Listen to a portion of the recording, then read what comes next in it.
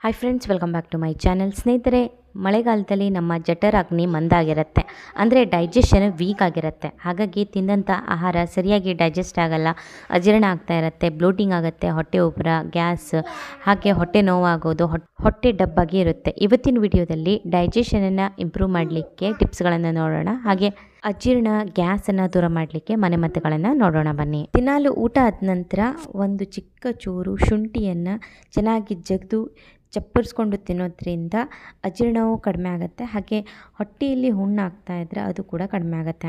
ನಾಲ್ಕಾರು ಪುದೀನ ಎಲೆಗಳನ್ನು ಚೆನ್ನಾಗಿ ಜಗಿದು ತಿನ್ನೋದ್ರಿಂದ ಅಥವಾ ಇದರ ಅಥವಾ ಪುದೀನ ಎಲೆಗಳ ಕಷಾಯ ಮಾಡಿ ಕುಡಿಯೋದ್ರಿಂದ ಅಜೀರ್ಣವು ದೂರ ಆಗುತ್ತೆ. ಹಾಗೆ ಈರುಳ್ಳಿಯನ್ನು ಸುಟ್ಬಿಟ್ಟು ತಿನ್ನೋದ್ರಿಂದ ಕೂಡ ಅಜೀರ್ಣ ದೂರ ಆಗುತ್ತೆ. ಹಣ್ಣುಗಳಲ್ಲಿ ಹೇಳೋದಾದ್ರೆ ಊಟ ಆದ ನಂತರ ಬಾಳೆಹಣ್ಣು, ಮೋಸಂಬಿ, ಕಬ್ಬು, ಅನಾನಸ್, ಪರಂಗಿ ಹಣ್ಣು ಅಥವಾ ಪಪ್ಪಾಯ ಹಣ್ಣನ್ನು ತಿನ್ನೋದ್ರಿಂದ ಡೈಜೆಷನ್ ಇಂಪ್ರೂವ್ ಆಗುತ್ತೆ. ಹಾಗೆ ಹಸಿವು ಕೂಡ ವೃದ್ಧಿಯಾಗುತ್ತೆ.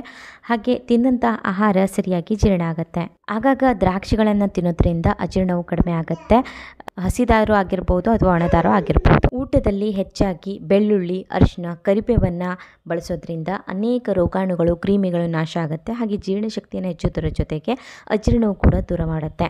ಅಜೀರ್ಣವು ತುಂಬ ಜಾಸ್ತಿ ಇದ್ದಾಗ ನಾಲ್ಕಾರು ಲವಂಗವನ್ನು ತೆಗೆದುಕೊಂಡು ಕಷಾಯ ಮಾಡಿಬಿಟ್ಟು ದಿನಕ್ಕೆ ಮೂರು ಬಾರಿ ತೆಗೆದುಕೊಳ್ಳೋದ್ರಿಂದ ಅಜೀರ್ಣವು ಕಡಿಮೆ ಆಗುತ್ತೆ. ಏಲಕ್ಕಿಯನ್ನು ಕೂಡ ಚೆನ್ನಾಗಿ ಜಗದ್ಬಿಟ್ಟು ತಿನ್ನೋದ್ರಿಂದ ಅಜೀರ್ಣವು ಕಡಿಮೆ ಆಗುತ್ತೆ. ಹಾಗೆ ರಾತ್ರಿ ತಿನ್ನೋದ್ರಿಂದ ನಿಮಗೆ ಚೆನ್ನಾಗಿ ನಿದ್ದೆ ಕೂಡ ಬರುತ್ತೆ.